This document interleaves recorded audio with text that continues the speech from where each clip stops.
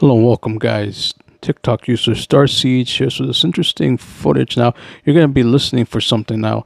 Watch and listen at the end of the clip and see if you hear it.